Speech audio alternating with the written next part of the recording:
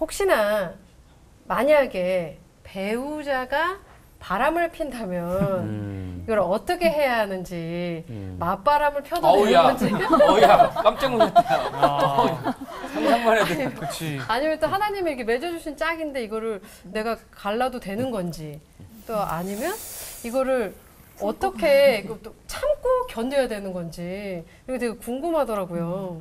네. 실전편인데요. 네. 허리케인이란 그 바람 알죠? 허리케인.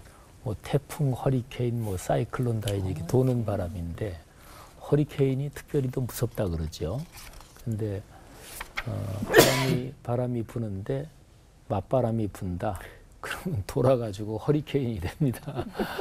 어, 근데 이런 얘기를 할때 어, 당위론하고 현실론하고를 구분해야 됩니다.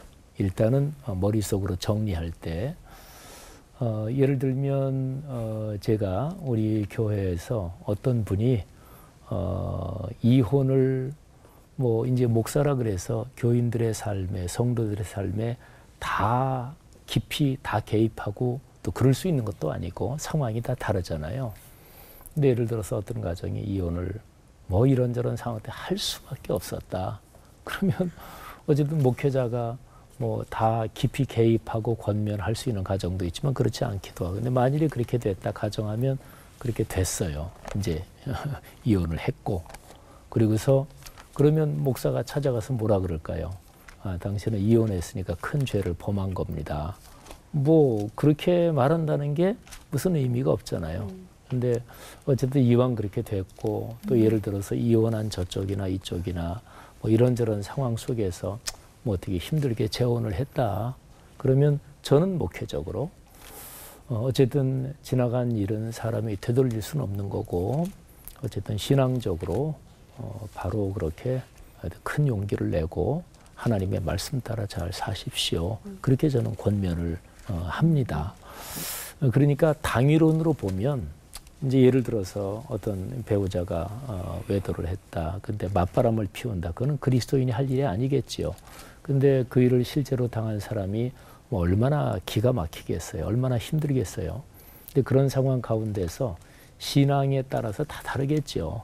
어떤 사람은 깊이 기도하고 평소부터 그런 분들은 너무나 힘들지만 그거를 참고 이겨내기도 하고. 근데 이게 혼자의 문제가 아니잖아요. 양쪽의 문제니까. 예를 들어서 가정을 지키려고 하는 사람은 끝까지 그러는데 상대 쪽이 아예 뭐 기왕 이렇게 다 알려지게 된 거 난 그만 산다. 이렇게 계속 그러면 어쩔 수가 없는 거잖아요. 그죠? 그러니까 최선을 다해서 자기 신앙의 분량만큼 노력을 해야 되겠죠. 그리고 어, 예수님께서 어, 음행한 연고 이외에 아내를 버리면 이런 말씀이 있는데 그 말씀은 음행했으면 언제든지 어, 갈라서라 그 말씀은 아닙니다. 근데 현실적으로 우리나라에 이제 성에 대한 통계나 이런 수치 보면 예를 들어서 그런 어, 외도나 이런 게 있었을 때 아 그럼 무조건 이혼하고 갈라서야 된다. 그럼 우리나라에 하는 가정이 참 적게 될 거예요. 그러니까 그리스도인은 현실적으로는 최선을 다해 살아야 되는 거죠. 그런 사건이 일어났다.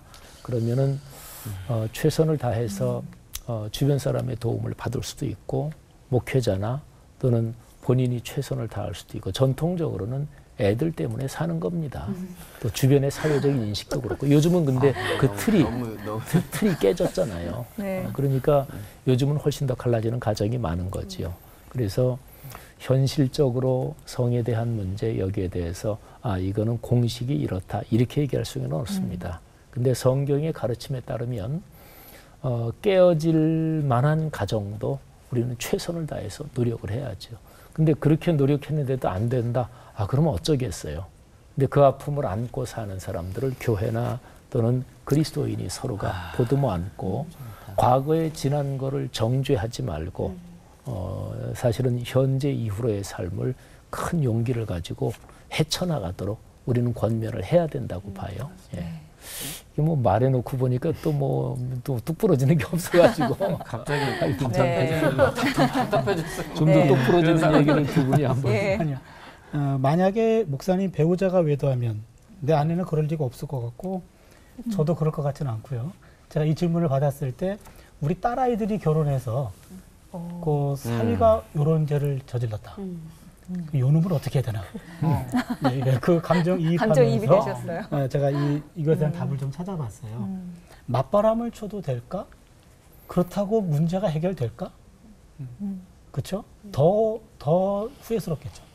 이거는 좋은 반응은 아닌 것 같고 하나님 앞에 서약했는데 이혼해도 될까?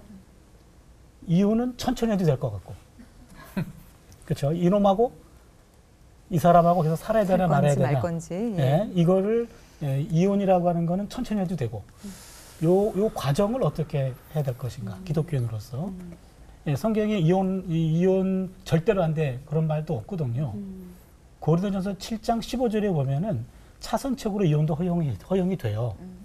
그러니까는 결혼이라고 하는 것이 그 사람의 행복을 위해서 결혼을 유지하라는 거지. 음. 오히려 그것을 끝까지 잡고 있어서 더 불행하다면 음. 차선책으로 악이지만 이혼을 허용한다라는 게 성경에 나오거든요. 음. 위험한 구절을 가르쳐 주시. 어, 아니 그래서 네. 제 말은 그, 그 무조건 교리적으로 교리적으로 그렇게 접근하기보다는 교리의 의도가 뭔가 음. 해서 그럴 수 이럴, 그럴 경우에는 평생 이렇게 해도 죄의식을 갖고 살 거예요 만약에. 그렇지만 그럼에도 불구하고 아까 목사님 목회적 차원에서 이해해 줘야 된다라고 했을 때 그럴 경우에 이 말씀이 그분에게 좀 도움이 될 것 같고 근데 내 딸이라면은 여기까지는 안 갔으면 좋겠고 이런 생각을 해봐요. 대화를 해보자. 왜 그랬을까? 왜그 친구가 외도를 했을까? 서로 진정하게 대화를 해봐라. 대화가 안 된다면은 끝이에요. 대화를 해봐라. 그리고 두 번째는 진정하게 뉘우치고 있는가를 한번 좀 확인하자. 너 그거 반복할래? 확인해 보자. 그리고 지금부터는 다시는 하지 않겠다. 라는 약속과 그 이행 과정을 좀 시간을 좀 두고 보자. 기회를 보고 그럼에도 불구하고 내가 상처가 지워지는지를 한번 점검해 보자. 상처 쉽게 안 지워지거든요. 제가 이거 때문에 몇 가지 책을 좀 찾아봤는데 60대가 넘으신 이제 부부인데 한 8년 전에 남편이 외도를 했어요. 그래가지고 이분이 저는 그때 회개했어. 회개했는데 아내가 8년 됐는데도 용서가 안 되는 거예요. 안 돼, 안 되지. 안될 것 같아. 그냥 관계가 좋다가도 갑자기 때리는 거예요, 남편이. 나쁜 놈, 이러놓고. 이거 그럴 수 있을 것 같아. 그렇죠. 이게 분명히 반복도 안 했고 용서도 했는데 지워지지가 않는 거예요. 그러니 할아버지도 미치는 거라.